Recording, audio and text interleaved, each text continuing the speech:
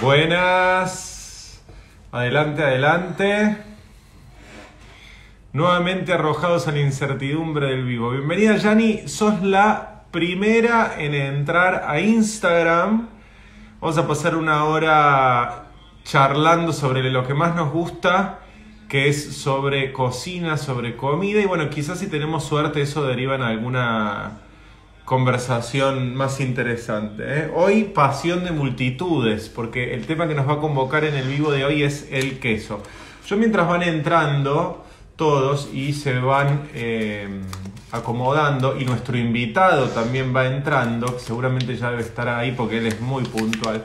Voy a merendar, como siempre que los espero con algo rico. Hoy miren, hice un budincito de limón y arándanos. ¿Eh? Un aroma tiene exquisito y va a ser mi merienda de la tarde. Mira, lo abrimos. A ver cómo está. Tuc. Mira. Uh, mira esa esa humedad se ve. Está no tibio, pero está a segundos de enfriarse. Miren esa amiga lo que es y la cantidad de arándanos. Porque me quedé tentado de ayer, que estuvimos en el vivo con Paulina Bascal, que a los puntuales les voy a dar la primicia de que la semana que viene vamos a estar repitiendo el vivo a dúo con Paulina Abascal, pero va a ser al revés. Yo voy a hacer una receta suya, así que ayer nos quedamos charlando hasta altísimas horas de la madrugada sobre cuál va a ser la receta que voy a hacer, ¿eh? pero eso no se los voy a adelantar. Estamos acá con el productor. Hola, productor. Muy buenas, muy buenas a todos. ¿Cómo va? ¿Estamos en Facebook también? Estamos en Facebook y a la brevedad en la camarita de acá con el gran angular, aunque no te guste. Bueno, ¿Con el ojo de pez? con el ojo de pez. Es que no me gusta porque me hace como cara de, mm, de huevo. Parezco el huevo de Condorito, ¿viste? Me hace como la cara así, no Si está hubiésemos bueno. traído la tablet acá, en vez de empezar ahí, era más fácil, pero bueno, tiene, arrancamos así, no me di cuenta. Lo perfecto es enemigo de lo bueno. Usted relájese, lo suficiente es bastante. Mmm. Mmm. El sabor a limón de esto. Mira, mira lo que es esto. El- Fíjate cómo no se hundió ¿Por qué no ningún arándano. ¿Eh? ¿No está glaseado? No, este no lo glacié. Eh, pero el mío yo lo quiero glaseado. El tuyo lo voy a glaciar, pero este me gusta natural. pero ¿y cuándo puedo comer el mío? ¿Y te parece un buen momento este para hablar del tema? Y sí, sí me está mostrando. Le puse tantos arándanos como es capaz de sostener esta masa sin que naufraguen. No le pasé harina y esos horrores que a veces veo que se hacen. Mm. Son tan húmedos que los bajo con nada. Bueno, siendo y 5, ¿estamos? Vamos a contarles quién es el invitado de hoy. El invitado de hoy es un amigo, un colega cocinero, especialista él en quesos, es un chef fromager, como le digo yo, que es una figura que está en extinción porque hay pocos, es decir, él hace sus propios quesos, vive en Neuquén, tiene un restaurante que no solamente cuando voy a Neuquén voy, sino que es al revés, busco excusas que me lleven a Neuquén para ir a su restaurante. Opera la inversa. Así que, como el otro día, si querés picar de acá, porque no es elegante que esté hablando con la boca llena. Como el otro día generó mucho entusiasmo el tema de los quesos, y mis conocimientos, por supuesto, que tienen un, un techo, por suerte, porque quiere decir que los puedo seguir ampli- ampliando. Dije, ¿por qué no invitarlo a él, que es un referente de la quesería argentina, para que nos ilustre, nos ilumine un poco en este mundo del queso y cómo está la industria del queso hoy? Así que sin más preámbulos, lo voy a presentar a él, si tenemos la fortuna de que haya entrado. A ver. Ahí está, primero. ¿Cómo sabe Instagram que lo quiero hacer pasar a él, que lo pone primero? Es Un increíble. poquito más diagonal. Más así, Al revés. más, más así. Claro. Sí, no, pero no sé. Sí, pero un poquito. Bueno, un poquito ahí. Bueno, ahí.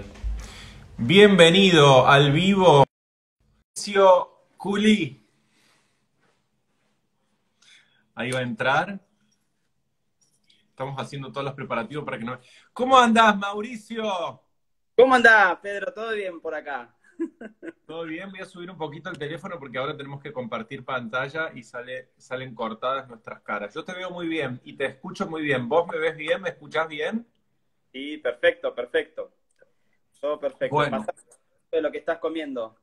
¿Viste qué rico? Ay, es que yo últimamente agarré la costumbre de esperarlos, de esperarlos con algo para, para merendar. Muy bueno. Yo tengo unos te, te voy a hacer tentar igual, ¿eh? Sí, me imagino. Bueno, todos nos ven bien, nos escuchan bien en Facebook. Estamos en Facebook, en Instagram y en YouTube. Es multi-streaming. Este video, bueno, Mauri, es un placer compartir con vos este momento. Hemos charlado muchísimas veces en tu restaurante hasta altas horas, como suele pasar entre cocineros y gastronómicos que nos colgamos y no paramos. Tal cual. Y la idea es un poco esto, que nos cuentes un poco para que, para que también los que, los que no te conocen tanto te sepan lo que haces y, nos cuentes un poco sobre este tema que es tan lindo y que a todos nos gusta, que es el tema de los quesos. Vos estás en Neuquén. Sí, bueno, yo como dijiste tengo la Toscana.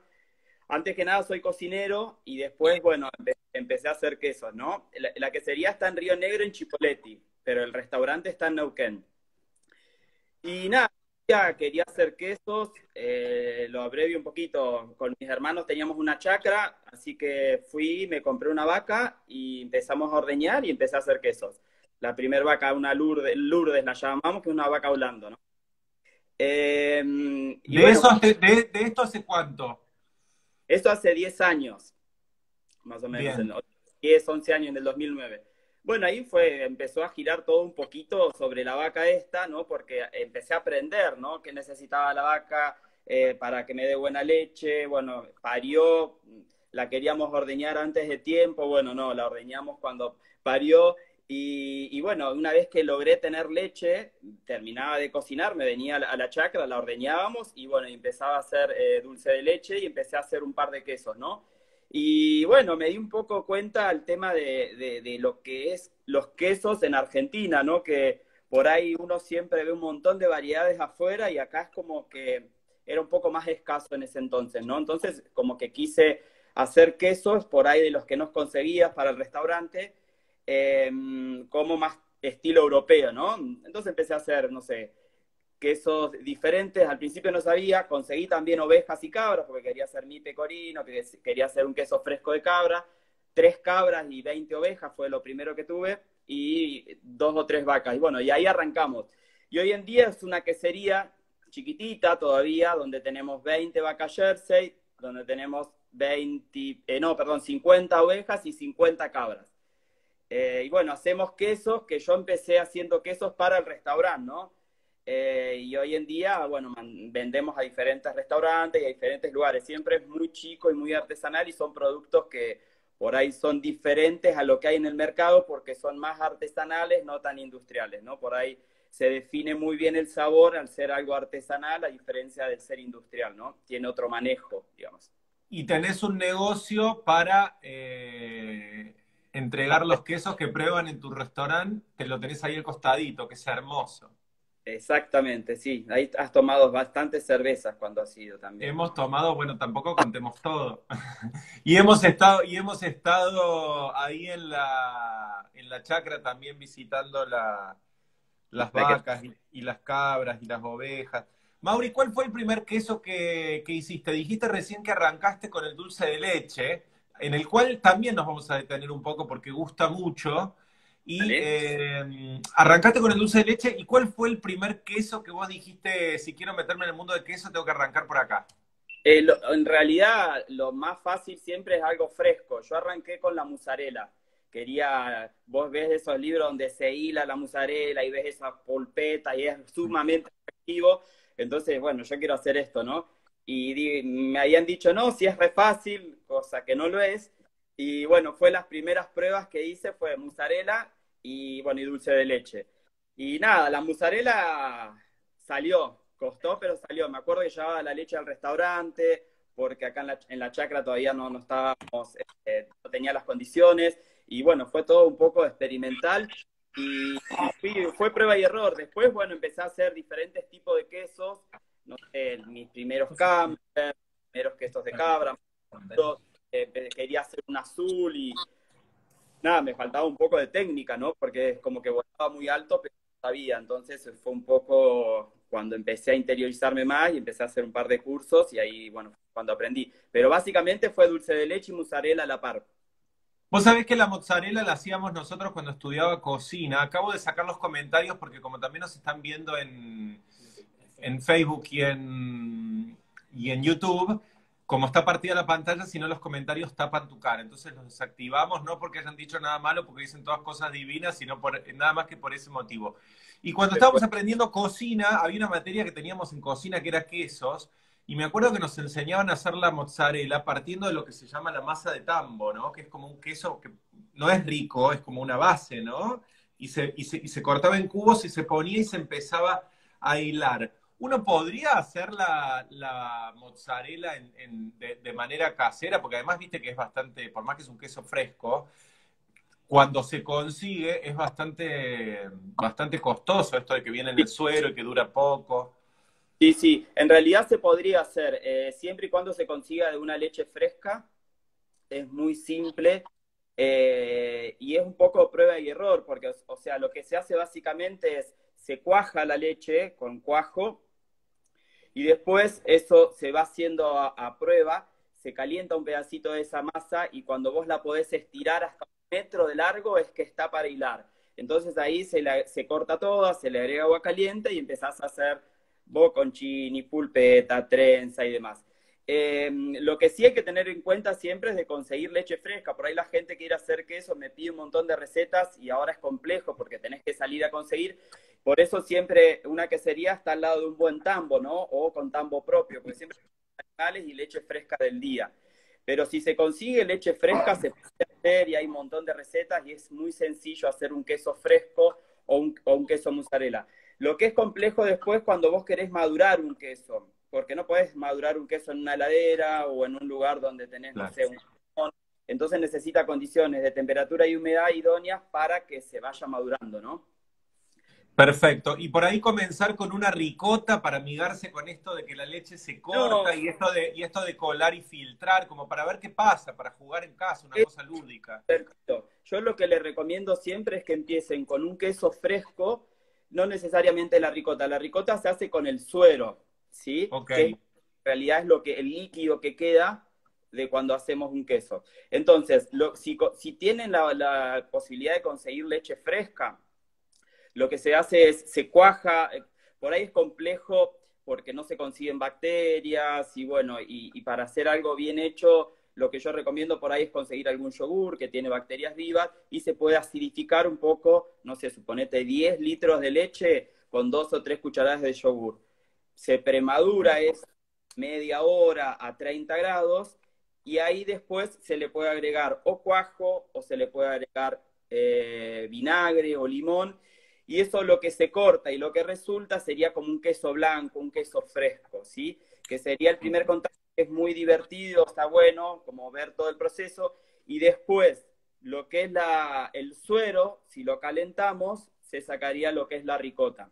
O sea que de 10 litros tranquilamente se podría hacer un queso fresco y se podría hacer una ricota eh, tranquilamente, sin problemas. Eh, eh, siempre y cuando sea una leche proveniente de un tambo habilitado y que esté bueno. ¿Por qué? Porque de buenos quesos, o sea, los haces con buena leche. Y si un animal está sano y no sabes, contagiar brucelosis, tuberculosis o demás, ¿no?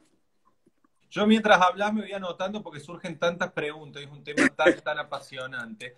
Vamos a tratar de ir de lo general a lo particular, porque si no ya de cero nos metemos en la receta de los quesos y la gente se abatata. ¿Qué es un queso? Y el queso ¿qué, características tiene que tener para, para, para hacer queso? Pues te, doy un ejemplo. Mi mamá, me, cuando probó por primera vez el mascarpone en la ciudad, me dice, eh, pero esto es igual a la crema del campo. Me dice, pues ella se crió en el campo. Y viste que la consistencia e incluso el color son muy similares, el de la primera crema del campo con el, que, eh, con el buen queso mascarpone. Pero nada que ver, ¿no? Porque no, no, no hay un cuajo. Lo que es el queso mascarpone y la ricota es como que no son quesos, uno lo llama Ah. queso, pero sería básicamente como una crema ácida el, el mascarpone, ¿entendés? Porque no se cuaja, no se hace ningún proceso, aparte se hace a base de crema y no a base de leche. Entonces podríamos decir que un queso es, es, un, es un producto a base de leche, ¿no? Que pasa por las acciones, mira, muy, muy, muy loco la, la leyenda, si querés te la cuento rapidito. de Por favor. cómo se hizo el que es un mercader árabe, ¿no?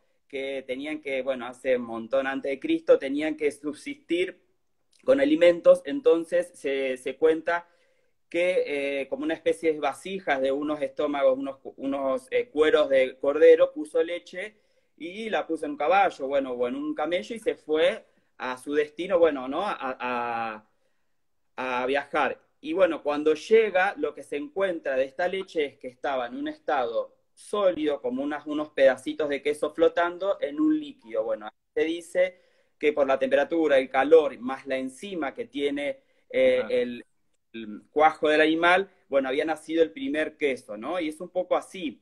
¿Qué sucede? La leche tiene azúcar, ¿sí? Tiene lactosa. Cuando pasa el tiempo, se empieza a, a- las bacterias naturales, cuando se empiezan a, a comer esa lactosa y ahí se forma un ácido láctico y se, se corta la leche naturalmente y se produce lo que es un queso. Eso se llama acidificación láctica en ese proceso. Si vos Ujú. agarras litros de leche y lo dejas de, de un día para el otro, una leche recién ordeñada, con las mismas bacterias se va a cortar. Ese líquido, eh, o sea, ese, esa materia, vos vas a tener una parte sólida y una parte líquida. Bueno, esa parte sólida vos lo pones en un liencillo y vas a sacar como una especie de queso crema. ¿Se entiende? Bien. Para, esta, acabas de decir algo que no sabía, que es que el mascarpone no es un queso. Yo lo hacía en un hotel con ácido tartárico y crema, que me sorprendía el rendimiento, porque tiene bastante rendimiento. Digamos, si, si interviene un ácido y se produce como un efecto donde se agregan las proteínas y se corta, ¿eso solo ya no lo hace, no lo hace queso? ¿Fresco, pero queso? ¿O en realidad, eh, bueno, volví un poquito anterior. Si fuera leche, sí, pero como es crema, no. Y ahí Ah. lo, que, lo que vos estás haciendo es como acidificarlo un poco para que suelte un poco de- del mismo suero, pero no estás cortando, no estás cocinando, no estás lirando y agitando y demás. En el otro proceso que se acidifica solo es una forma o enzimáticamente que sería por medio del cuajo. Sí, Ah. que ahí tiene el cuajo. Entonces, como que diría que tenemos como dos líneas de hacer queso. Una es por acidificación láctico, que te diría que el 80-90% de todos los quesos franceses de cabra son ácido lácticos, porque se- son ácidos, o sea, se cortan y, y vos decís esto es una ricota, pero no es un queso. Y de la otra forma enzimática, donde interviene el cuajo animal, que ahí es el estómago del animal, que es lo que tiene esta enzima, que es lo que hace que lo corte. Hasta Bien. Mauri, te hago una consulta. ¿Qué, qué, cuáles son las familias de quesos que hay? Porque viste que los quesos, lo que tiene de fascinante es que es un mundo, hay libros gordos así, es imposible conocerlos todos. Eh, digamos, ¿qué, ¿cuáles son la- las grandes familias de, de quesos? Eh, para que te una idea, depende del autor de los quesos del mundo, los separan en diferentes familias. Pero básicamente tenemos los quesos frescos sin corteza. Por ejemplo, el mascarpone y la ricota serían quesos frescos sin corteza. ¿sí? Ok. Que está bueno, son, son los, los que más rendimiento tienen y demás, pero son los que menos duran, porque son más húmedos. Eh, la Ah. mozzarella es un queso sin corteza también, por eso no dura tanto tiempo y es más eh, fresco. Después tenés los quesos, eh, bueno, duros y semiduros. Los quesos duros son, bueno, el queso de rallar, que todos conocen, el parmesano, el regianito, bueno, los clásicos duros, eh, que acá le decimos más queso de rallar, y los quesos semiduros, que son tan duros como los semiduros, que son los que más hay en el mercado y los que más se hacen en las diferentes queserías y lo que más se consumen. Después tenés los quesos ¿Que blancos. vendrían a ser cuáles? El, el- vamos a hablar de los quesos que se consiguen en el almacén, después nos vamos a meter en los quesos más premium, pero por ejemplo el queso tibo o el queso de máquina Exacto, o el queso el, o el mar del plata que le dicen, ¿no? El Gouda, todos esos quesos son quesos semiduros, ¿sí? Bien. Tenés los quesos, bueno, dentro de los frescos y de los sin cortezas que hablamos, también están los blandos, que tenés, por ejemplo, un cuartirolo, ¿sí? Que Mm. es con corteza porque tiene molécula, pero acá lo que conocemos como lo queso blando, el queso cremoso, el queso cuartiroloso, todo eso. Y después tenés otra variedades que son los quesos con hongo en superficie, que son los quesos blandos también, pero por ejemplo tenés un camembert, tenés un brie, tenés, no sé, un crotén, que es de cabra, tenés diferentes tipos de quesos que ahí interviene un hongo y eso es lo que lo hace diferente maduración, otro sabor y demás. Bien. ¿Y, los, y los, los, hilados como la mozzarella que nombraste pueden ser eh, frescos o es como una eh, subfamilia, ¿no? Esos que se hilan. Eso es totalmente, sí, sí, es un queso blando, también sin corteza, pero sería como una subfamilia porque están hilados. Entonces ahí tenés otro proceso. Para que te des una idea, ese tipo de queserías prácticamente no elabora otro tipo de queso porque todas las maquinarias y lo que se hace, se hace solamente para mozzarella. Se calienta la cuajada con agua caliente a 90 grados y está armado para eso. bueno, de ahí tenés un montón de otros tipos de quesos, como tener provolone, un montón de otros quesos, ¿no? Pero entrarían los quesos, digamos, eh, hilados, ¿sí? Eh, bueno, y saliendo un poquito, entonces tenía los quesos con hongos, que ahí intervienen con hongo en superficie o eh, con hongos secundarios, como sería el caso de los azules. Ah, ok. Es complejo porque, bueno, por ejemplo, el, queso camembert es un queso blando, que hoy dijimos también, pero tiene hongo. Entonces, el queso mm. azul también es blando, pero tiene hongo. Entonces, ahí intervienen los hongos, que es el penicillium camembert, el penicillium roqueforti, que se hacen como dos variedades con que vos lo que le haces, los franceses dicen que son dos quesos en uno. ¿Por qué? Porque le agregas un hongo, haces el queso habitual y después se transforma en otro al activarse el hongo cuando se lo perfora, empieza a crecer y demás. Hasta ahí se entiende. Qué increíble, sí, se entiende. No, y en el, y en el Camembert o el Brie está por afuera y lo loco del, del Roquefort es que de adentro empieza a surgir. Exacto. siempre los dos tipos de hongos se inoculan en la leche. No es que se le agregan y demás o se perfora y se le agrega el hongo. Siempre se le agrega en la leche. Cuando vos haces el queso después, le das condiciones como para que pueda crecer ese hongo. En el camembert, por ejemplo, empieza a nacer porque tiene mucha humedad del queso, casi 95% de humedad, y condiciones de 10, 12 grados, depende, para que pueda crecer y se forma todo un plumaje por afuera. En el caso de los es, lo que se hace se lo perfora, se lo pincha todo el queso como con una aguja de tejer. Por eso es que a veces uno corta la horma de azul y ve como una línea, o sea, eh, los hongos se nota que crecieron alrededor de algo. Exactamente, para que te dé una idea, es como que está asfixiado el hongo, entonces al pincharlo ingresa aire y ahí puede nacer. Si vos no lo pinchas, nunca se hace el azul. Y después se empieza a ramificar por la cuajada, que es una masa abierta que se hace justamente para que pueda entrelazar. Bueno, y todo este tipo de hongos, ¿qué pasa? Empiezan a avanzar en la masa y es lo que cambia el sabor, la textura y cambia en otro queso, se transforma. Tu patagonzola es...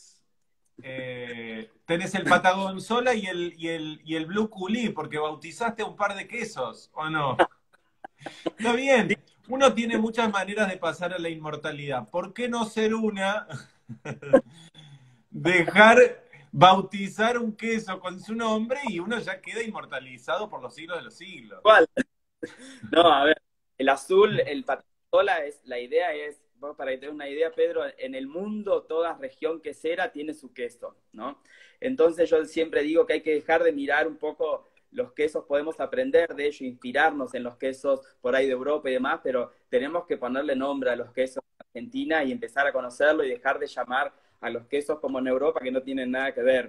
Por eso el nombre, ¿viste? Y como el Blue Coulis es un queso que me gusta hacer mucho, inspirado en el le puse ese nombre y nada, es todo un desafío lograr algo que se viene haciendo más de, 500 años y vos darle tu impronta, ¿no? Así que bueno, hay Encima venís a, tener el, venís a tener apellido de queso, parece la publicidad esta de los embutidos donde el apellido de la gente estaba relacionado con su oficio. Porque si Culi no es un nombre de, queso, un, queso azul que se llame Blue Culi, escúchame. ¿Lo compras? Mau, claro. una consulta. Em, ¿Cuál es la, digamos, la altura inventiva que tiene que tener un queso como para que merezca tener un determinado nombre? Por ejemplo, si estamos en la, familia de los azules, Eh, ¿Cuál es la diferencia sustancial que puede haber entre un Roquefort, un Gorgonzola, un Stilton, un Cabrales, dependiendo? ¿O es que cada país quiere tener un queso de, una familia con su nombre? ¿O realmente es eh, tan, tan importante la diferencia como para que tengan distintos nombres? ¿Y dónde está la diferencia? ¿En lo que come el animal, en el proceso? En realidad, eh, si para darte un ejemplo así si, un, si yo traigo mañana a un francés y traigo las vacas que usa ese francés y lo meto acá en la Patagonia a hacer el mismo queso que él viene haciendo, no va a ser igual. ¿Por qué? Porque lo que come el animal no es lo mismo que lo que comen en los Alpes, por ejemplo, franceses, y eh, los hongos, no sé, para que te des una idea, no sé, en el tambo, en la leche, en la persona que los hace, en la cámara, todo eso transmite como ciertas bacterias específicas que le dan al queso algo. Y en cada lugar del mundo hay un terroir diferente, o sea, la raza de, los animales es un poco como si fuera la cepa del vino. O sea, vos estás tomando un vino, eh, un pinot, y no lo podés hacer con un Malbec. Y si vos comes un Camembert originalmente, como se hace en Francia, con un, una vaca normando, no lo podés hacer con una Holando. O sea, tienen características específicas, esas especies que te hacen diferente al queso. Entonces, por eso es un poco lo que no se puede copiar, es inigualable. Eh, Argentina es un país copiador. Eh, está bueno inspirarse, pero tiene que tener su queso, digamos, genial. Si yo, fuera, si yo fuera periodista, que no lo soy, ese sería el titular de la nota. ¿eh? Una, foto tuya al lado de una vaca con tu queso bautizado con tu apellido y el titular Argentina es un país copiador. Bueno, estamos con Mauricio Coble, los que recién eh, se incorporan, maestro quesero argentino. Estamos a través de Instagram, Facebook y eh, YouTube. Iba a decir Twitter, Twitter todavía no. todavía no, pero acá tenés YouTube. Ahí estamos YouTube, saludamos ahí a la gente de YouTube. Mauri, yo estoy de acuerdo con vos que en Argentina tenemos un buen producto, es un país de vacas, eh, es un país de, donde hay talentos como el tuyo que saben hacer buenos quesos. Entonces la pregunta necesaria es, ¿por qué el queso que conseguimos habitualmente es tan malo y caro? Malo y caro, las dos cosas. Bueno, ya, que te, ya que te querés meter en frases polémicas, te voy a, te voy a meterte del todo. A ver, hay dos, dos grandes grupos que es como decía hoy, los quesos artesanales y los quesos industriales. Eh, pasa mucho por también el consumidor que tiene que hacer un montón. A ver, un queso industrial con un queso eh, artesanal no tiene comparación. ¿Por qué? Porque no es lo mismo que yo elabore un quesito con 20 vacas a que la elabore con 1000 vacas. O sea, el manejo de las leches de los animales y después de los procesos en la quesería son totalmente diferentes. Entonces, cuando vos por ahí pagás un poco más un queso artesanal, eh, realmente lo merece porque es otra cosa. A ver, para que te des una idea, en Europa los quesos se hacen como un presente, como un regalo, es algo realmente valorado porque es algo cultural de mucho tiempo que vos ya sabés todo el trabajo que hay acá. acá no se conoce, para que te des una idea, el proceso de un queso, entonces por ahí es lo mismo comer un queso que no tenga gusto a otro que tenga un poco más de gusto. Entonces, bueno. No, yo, no creo que sea lo mismo para nadie comer un queso de plástico, esos que brillan, que le sacas el nylon y son, te podés ver en el queso directamente, que un queso como que un queso como los que haces vos. El tema es que yo veo que en estos países, Francia, Alemania, etcétera, el queso al que accede el común de la gente cuando va al supermercado de la esquina, hay, hay mucha cantidad de queso bueno. El problema acá es que aún queriendo, no lo conseguís, solo o conseguís marcas de pequeñas y medianas empresas que son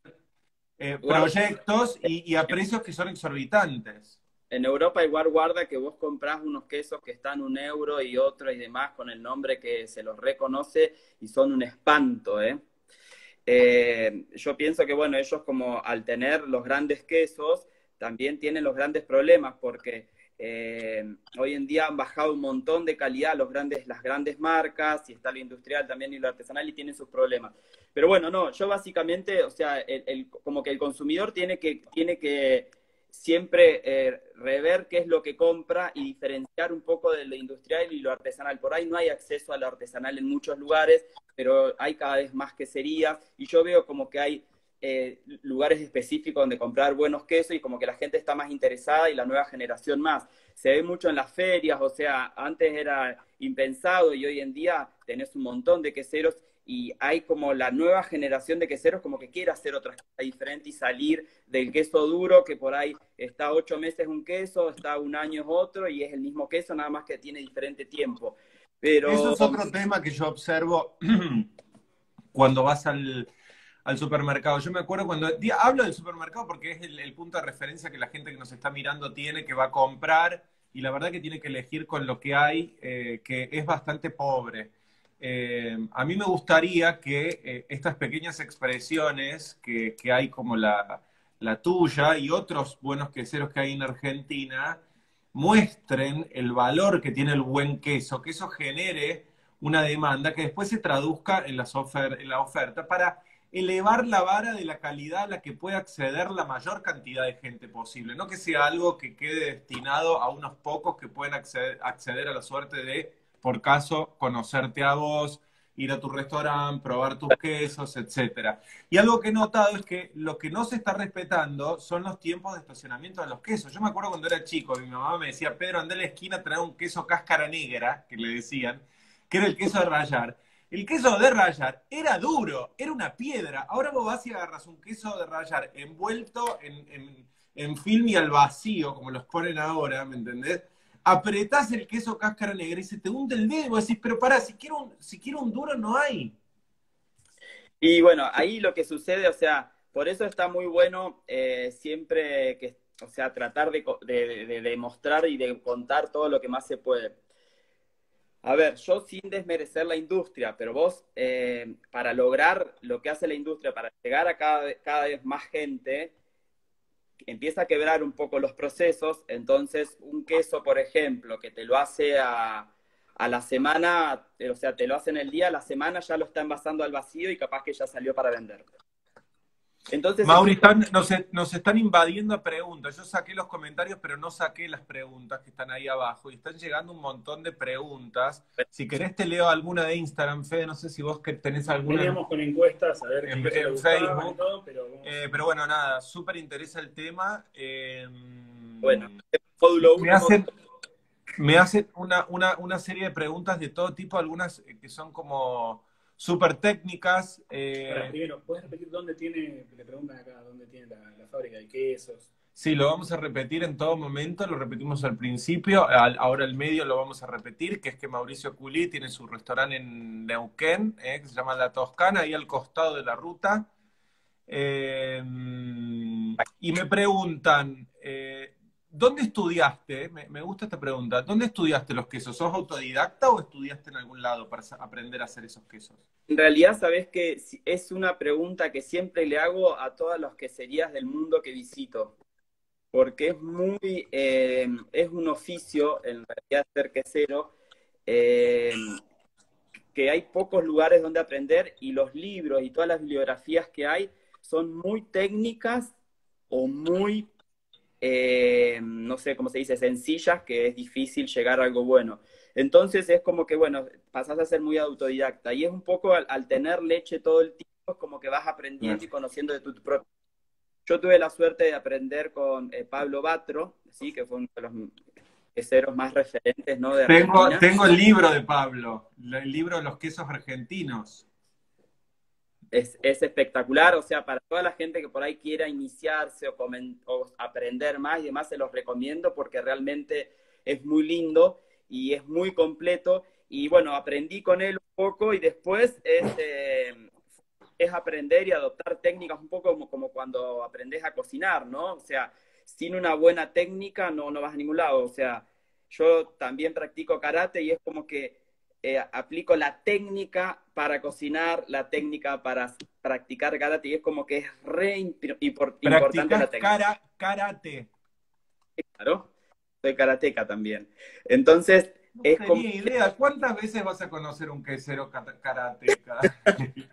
Escúchame. No te, te, juro no sabía esto, Mauricio. ¿Hace, hace mucho que sos karateca? Sí, sí.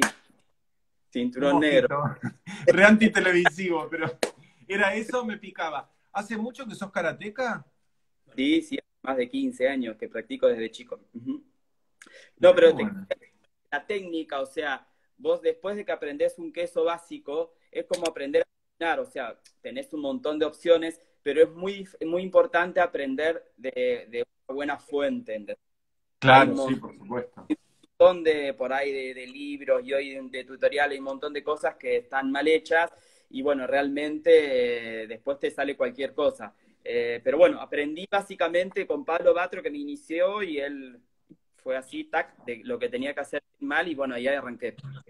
Acá me pregunta Seinara, no voy a poner las preguntas chicos por el mismo motivo, porque si no tapo la pantalla y no, no pueden ver desde Facebook y desde YouTube. Pregunta, ¿qué tipo de queso serviría para madurar en casa? Interesante. ¿Viste cómo como uno puede estacionar un vino y decir, este lo guardo para cuando se case la nena? A ver, lo que hay si quisieras un queso, ¿cómo haces? Que los quesos no se pueden, no se siguen madurando al vacío. Compra un queso uno al vacío, lo que tiene que ver dos cosas. Tiene corteza, que ya está para... Si no tiene corteza, es que ese queso nunca pasó por una cámara y no va a ser bueno. Pero las condiciones para madurar un queso tendrían que ser las mismas de la cámara de donde vino. Por eso a veces es muy complejo. ¿Por qué? Porque en una, en una ladera no tenés 70 o 70% de humedad y no tenés 12 grados, entonces... Claro, es un lío, no lo hagan. Mauricio, mira lo que tengo en la mano para esperar. Tú me dijiste que tenías algunos quesitos por ahí. A, ver, a, ver qué tenés. Mostrame qué tenés ahí. Ah, palala. ¿Ese lo hiciste vos? Sí. A ver si se ve. ¿Qué es un Emmental? Es una, es un, acá tenemos un queso, sí, es una especie de mental que aprendí a hacer en Copinger en Berna, una receta que estoy usando ahora mucho para la fondue, eh, que tiene casi dos años de estacionamiento. Después tengo un queso toscano, un queso patagoncino y un cabrino, que es un queso de cabra, que mira la diferencia de color, ¿sí?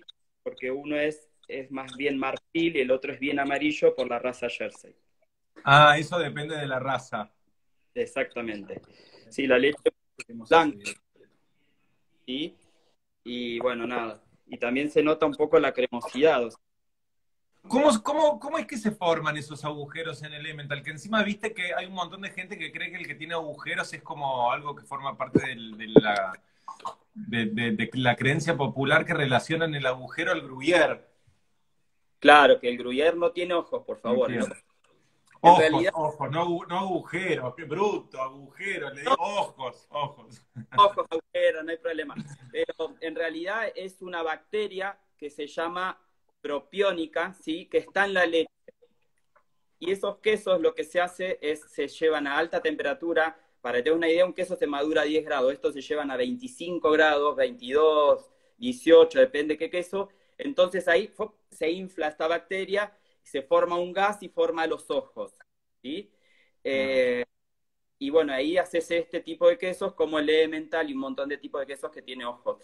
Eh, el gruyère, que es de la familia, lo que más se hace en Suiza es gruyère y emmental. Bueno, a diferencia, el emmental sí tiene ojos y el gruyère no. Te cuento que nos están mirando de Suiza, no es, no es una joda. Tenemos público que nos mira de, de Suiza, una amiga que nos comenta siempre que está viviendo en, que está viviendo en, en Zurich. Eh, y, bueno, y te he visto hacer... ¿Cómo? Estuve cocinando el año pasado en, en, en Zurich y llevé mis quesos y quedaron encantados, ¿eh? Y sí, ninguno... no, mirá que país quesero, ¿eh? No han sido originales en quedar encantados. Sí, está, está, todo bien, es un país quesero, pero yo soy de la, de la partida de que no tenemos nada que envidiarle realmente, ¿no? Como que es una forma de decir. Eh, lo que pasa, pero esto se ve en los vinos, se ve en el aceite de oliva, se ven los quesos. Cuando queremos hacer bien las cosas, se puede. Lo que a mí por momentos me frustra es decir, bueno, tenemos el producto, sabemos cómo hacerlo. Bueno, ahora cómo ampliamos para que esto llegue cada vez a eh, más cantidad de a más cantidad de personas y que la gente no se frustre viendo, ¿me entendés? Un, porque además son cosas que se hacen acá, no es que son exotismos que vienen de otro lado. y ¿qué querés? ¿Cómo, cómo pretendés encontrar eso si, escúchame, frutas rojas, pasa con las frutas, pasa con algunas verduras? con algunos productos que... Básicamente, Pedro, o sea, eh, eh, o sea, yo no, no, como que no, no es que tenga la culpa el consumidor, pero el consumidor, o sea, como vos aprendés a tomar un buen vino, tenés que aprender a, tomar un, a comer un buen queso, o sea, eh, y, darte cuenta, o sea, si te da lo mismo, eh, e, es como que, bueno, ya comes cualquier cosa. Entonces, en ese sentido, pienso que aprendés mucho y después si vos te empezás a interesar qué es lo que comes o dónde se produce, dónde se elabora, cómo está hecho mínimamente y empezás a ver un par de diferencias, eh, ¿por qué este queso tiene corteza? ¿Por qué este no? ¿Por qué este tiene un nylon? ¿Por qué este no? ¿Por qué este sabe bien? Empezás a comparar y bueno, ahí empieza a aprender. yo lo comparo siempre con los vinos porque es muy similar y si vos ves, no sé, 20 años atrás, los vinos, no sé, en la Majuana eran todos más o menos iguales. Los panes. Fíjate vos que antes hay, ahora hay, hay, una gran avidez ahora por comer buen pan y la gente se está recontra interesando eh, hacer pan en empresas que son interminables, porque ¿quién va a hacer la masa madre? Yo tengo un curso de masa madre en reseteate.com, pero reconozco que es un curso para personas eh, avanzadas, que de hecho no lo hice yo, lo hizo un panadero amigo que se llama Johnny Gesto, que es especialista en masa madre. Y digo, qué increíble cómo el pan, antes vos ibas a restaurante incluso de alta cocina, y el pan era medio como el último eslabón, es decir, la, atención que recibía la cocina no se veía reflejada en el pan. Y ahora hay mucha avidez por comer buen pan, y yo creo que eso va a llegar al queso también. Todavía no, de a poco se va llegando, pero en algún punto van a decir, che, quiero comer buen queso, ¿entendés? Quiero conseguirlo porque sé que está. Lo que pasa que, bueno, volviendo un poquito, yo por ahí siempre doy ejemplos de afuera, pero bueno, vos también has viajado un montón y sabes, no sé, vos afuera viajás y tenés un montón de variedades de panes. Y realmente el, que come el pan, o sea, va a comprar el queso, va a comprar el pan, y realmente tenés una calidad, no sé, en Suiza, en Francia, donde sea que... Y bueno, yo pienso que esa diversidad de, de calidades es lo, que la gente por ahí tiene que aprender a elegir, ¿no? Y podés tener, porque bueno, no, por ahí no te vas a comprar todos los días o vas a comer todos los días un queso bueno, pero de repente cuando está la ocasión sí está bueno eh, saber y bueno y comprar lo que, lo que puedas comprar, ¿no? Un poco así. Fíjate que incluso la manera de referirse al queso, yo creo que todo se ha gourmetizado del último tiempo esta parte, y el queso no ha escapado a esa tendencia. Vos fíjate que antes eh, al queso azul se le decía inequívocamente Roquefort. Y ahora le decís Roquefort y es como que en los salones cultos te miran mal.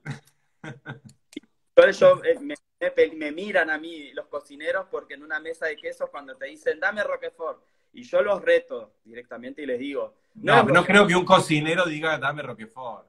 No, no, no me miran los cocineros, los colegas míos, mis cocineros, porque yo me peleo con los clientes y les enseño. Entonces les digo, no, no, no, no, no no llames Roquefort, porque Roquefort hay en Francia y es de oveja y, es de raza lacún y acá no tenemos. Y bueno, y le empezás a enseñar y la gente te abre los ojos como mea, y no, pero es realmente como así. este fanático.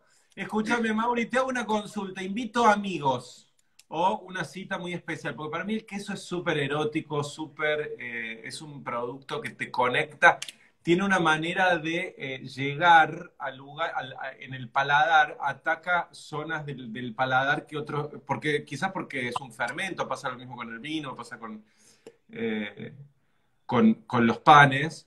Eh, y quiero agasajar a amigos o a una pareja con una buena tabla de quesos, que en tu restaurante es una especialidad. No dejen de pedir la tabla de quesos en la Toscana, por favor.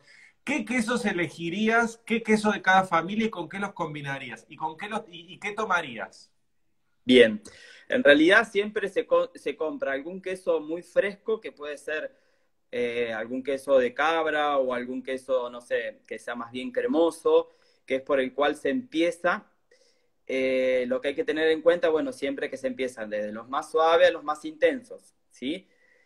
Eh, pero está bueno como que comprar de diferentes familias en, ramos generales, o sea, sería un fresco, por ahí un, semiduro o un duro, un queso con hongos, que puede ser un camembert, un brie, y terminar con algún azul, ¿sí? Básicamente. Mm. Eh, ¿Y algún duro, algún duro, duro, tipo un, parmesano, un, un, rellanito, un sardo? Exacto. Eh, entonces podemos arrancar, no sé, por ejemplo, si arrancamos con un fresco de cabra, ¿sí?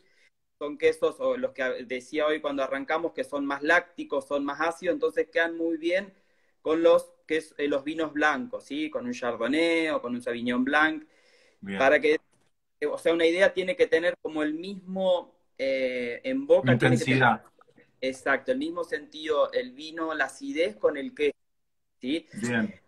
Quedaría, está bueno que es importante marcar por cuál empezar, porque, porque vos cuando armas una tabla, eh, cualquiera enseguida empieza a agarrar y te empieza por el azul. Por el azul, y después no, nada tiene gusto.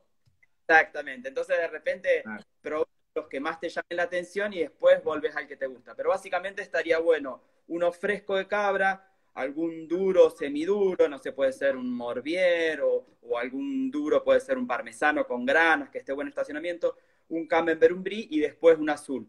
Y los vinos, bueno, los blancos quedan muy bien, pueden ser eh, vinos muy jóvenes sin madera también que quedan muy bien con, los quesos semiduros. Y para terminar, un vino dulce, que puede ser, no sé, un soterno o, un, o algún vino, no sé, algún añejado, algún tardío, ¿no? Eh, para, o un oporto para un azul quedan increíbles, ¿sí? Más esa, esa, combinación es increíble. El vino dulce con queso azul es impresionante. La boca te hace tipo... Ahí termina, termina Es el orgasmo, vamos a decirlo. Venía como, venía como increciendo y de golpe con el azul y el vino, y el, vino dulce explota. Un dato, importante, a ver. Un muy buen pan y manteca en, una, en, una, en una tabla. Y después, porque la manteca, si hay algún queso muy intenso, se acompaña con un toque de manteca y suaviza. Y obviamente después, miel, higo, peras, uvas, secos, nueces, avellana, todo lo que acompaña muy bien. Entonces Alguna fruta en almíbar que he visto que también servís. También quedan muy buenos. O bueno, armamos también unos cuadrados de manzanas o de membrillo. Bueno, todo eso acompaña muy bien. No sé, la gente, por ejemplo, se vuelve loca con la miel. O sea, vos tenés un buen panal de miel. Claro, porque vos servís el panal de miel. y queda riquísimo con cualquier queso. Entonces, ahí vas a tener con un muy buen vino y, lo, loco, lo lindo es que vas a ponerte a hablar de los quesos con el vino y con el pan, y bueno, es como que eso da para compartir y para, para disfrutar mucho, ¿no? En, una tabla de quesos, simplemente con cuatro o cinco quesos bien hechos. Está bueno, digamos. Y además los platos de tu restaurante en general orbitan alrededor del queso, y el queso cuando es bueno es un número puesto, es como que agarras la carta de Mauricio y decís, tráeme todo porque no sabes qué pedir y todo lo que te pidas te va a gustar porque son todos los sabores eh, que a uno le gusta comer bien hechos. Es como que lo tenés, ¿me entendés? A Messi, a Tevez, al ¿entendés? es como que tenés todo el... no, hay, no, no, puede fallar. No, lo fallar. que... Una vez, o sea, haces un montón de variedades y está divertido después utilizar tus productos y a su vez, bueno, cuando visito diferentes lugares, cómo los utilizan otros cocineros también está bueno porque de repente, no sé, hay otro plato o lo marían con otra cosa y queda muy bien. Pero, sí.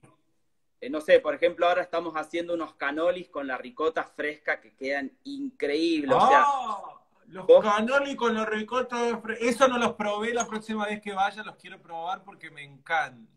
Cuando agarrás la ricota con el azúcar y la procesás, queda una crema, pero increíble. No sabes el sabor que tiene, no sé si parece que tiene eh, no sé, leche condensada, no sé, queda un gusto a leche muy agradable, muy rico, con una leche, eh, una ricota fresca, quedan increíbles. Y bueno, vamos haciendo diferentes platos a base de, los quesos, que bueno, eso también nos divierte, ¿no? Tenemos preguntas de Facebook. Tenemos una amiga cocinera, Perla Erro, que nos está mirando en este momento. Dice, Pedro, qué buen invitado, Tony querido, qué hermoso escucharte, sos el máster.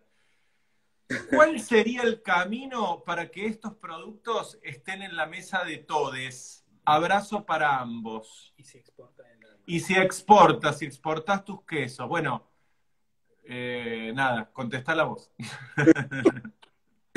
bueno, eso era una perla.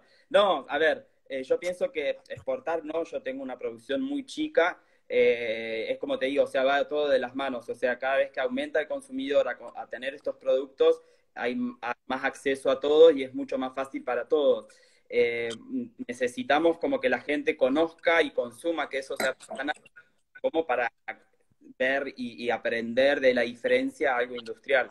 Eh, creo que el camino es un poco ese, o sea, va con la gente y con la, cantidad que se sumen al tiempo productores artesanos. Me encanta porque es bien marcada tu postura, vos pones la responsabilidad o la tarea más que la responsabilidad eh, en el consumidor, eh, y está bien, es el consumidor el que tiene que informar sus ganas de, porque en realidad cuando se hace un estudio de marketing y va a salir un, producto nuevo, está basado en quienes saben leer eh, las ganas que tiene el consumidor de consumir ese producto que, que está saliendo. Una pregunta de Facebook. De, YouTube. Tenemos una pregunta de YouTube. Dice, ah, muy, muy interesante esta pregunta, un queso muy popular. Dice, la burrata, ¿qué tipo sería? Viste que la está burrata... la burrata, todo el mundo come burrata ahora. Sí, bueno. Eh, está dentro de la decilo, decilo, decilo, decilo. No, no. ¿Qué pensaste? ¿Pensaste algo? ¿No sos burratero? La burrata está dentro de los quesos de la mozzarella, porque es un queso hilado y lo que, lo que entra, o sea, de la clasificación de los quesos hilados y de los quesos frescos, eh, sin corteza también. Es un queso que se hace con la misma masa de mozzarella, se deshilacha toda la mozzarella, se mezcla con crema, que eso se lo llama stracciatella, y se llena como una suerte de bolsillo, ¿no? Y se hace la bola rellena con todo esto. Bueno, es buenísimo, muy húmedo, no aguanta tanto. A ver, no hay una máquina que, no lo, que lo haga esto, se hace artesanalmente y eso está caliente, la cuajada está a 60 grados, la masa, eh, lo haces con guantes, te quemás y lleva un trabajo realmente laborioso, por eso hay un montón de calidades de burrata, pero bueno, por eso es, hay unas burratinas chiquititas, son muy lindas, están haciendo ahora. Qué lindo. Eh, Qué laburo. Sí, sí, sí. Pero bueno, por eso el tema de la burrata. La burrata es muy loco, porque vas a París hoy y está burrata por todos lados. Y en Francia, sí, vas a, no sé, a la India y burrata, vas a Suiza. ¿En serio? ¿Es un fenómeno mundial el de la burrata? Pensé que era acá nomás. A mí me llamó la atención porque siempre afuera, típico, una pizarra y dice burrata en Francia en la calle, ¿entendés? Como en un plan. Increíble la aceptación que tuvo ese queso. Sí, sí, es muy, muy, fresco. Bueno, vamos a otra pregunta. Dice. Eh,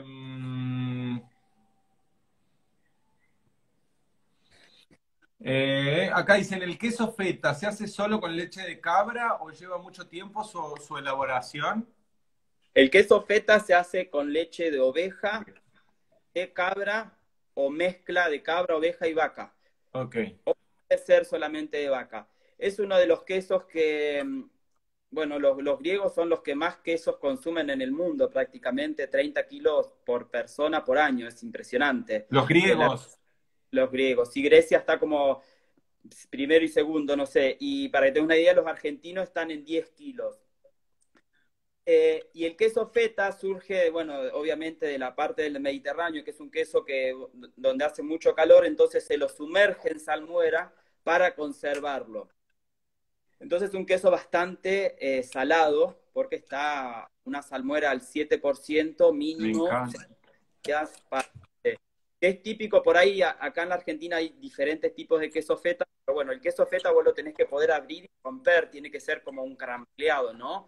Y se tiene Exacto, sí, hay, hay quienes venden el queso feta y es un queso que es como demasiado eh, firme y no tiene eso que se, que se desgrana. Y, y además lo que tiene lindo el queso feta que despista, porque vos lo ves blanquito, clarito, y en general uno asocia a los, a los quesos así frescos y blancos con un sabor muy suave, y cuando lo comes es como tiene un montón de personalidad y medio picantito manjar.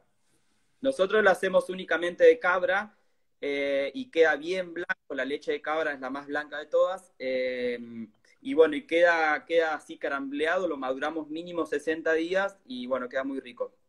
Mauri, ¿hay alguna familia de queseros así que formen como una comunidad? Porque viste que la unión hace la fuerza de alguna manera, aunque eh, a veces se despotrique de ella hay que juntarse con otros para, para hacer como, como una fuerza. ¿Hay algún tipo de eh, cónclave quesero que vos digas?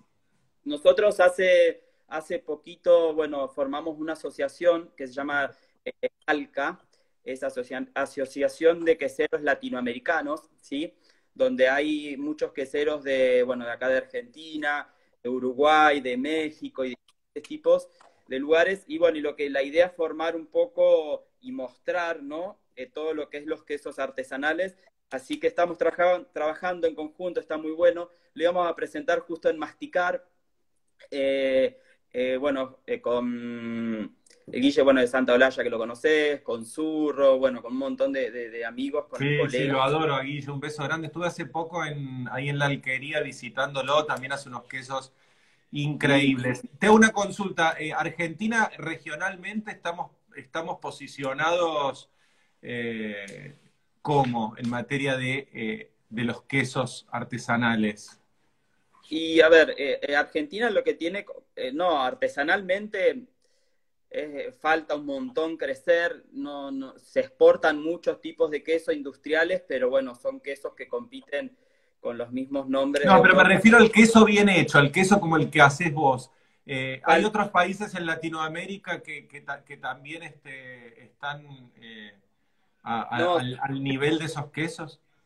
Pues somos muy pocos, Pedro. O sea, está bueno, pero falta muchísimo más volumen. claro, eh, falta volumen.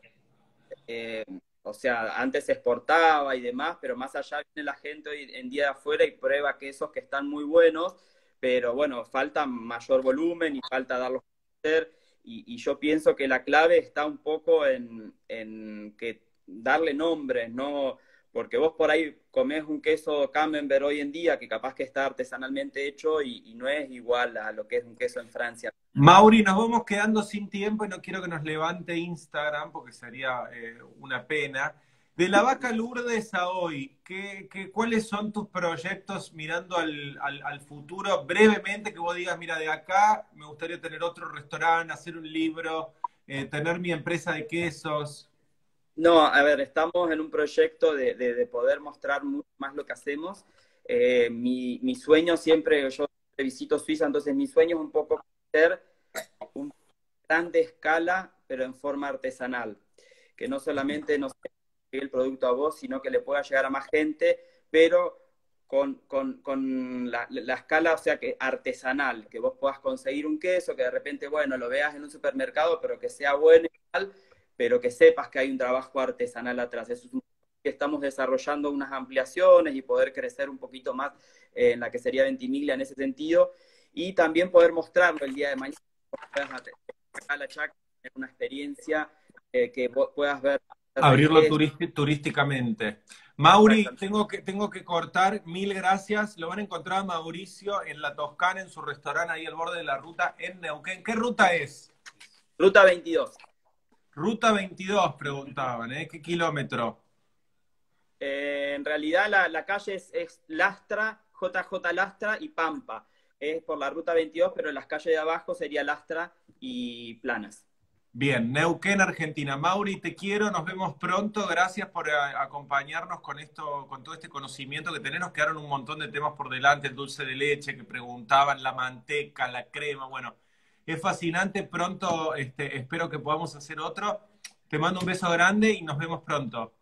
Dale, un beso. Chao. Chao, Pedro. Bueno, amigos, no nos queda más tiempo. Un genio, Mauricio, fascinante el mundo de los quesos. Gracias por estar. Les mando un beso grande y nos vemos. ¿Qué es viernes hoy? ¿Habrá vivo el fin de semana o me lo tomaré como el fin de semana pasado? Bueno, no sé, no sé, no, no prometo nada. Capaz que sí, ¿eh? Capaz que sí. Beso grande, nos vemos. Chao, buen fin de.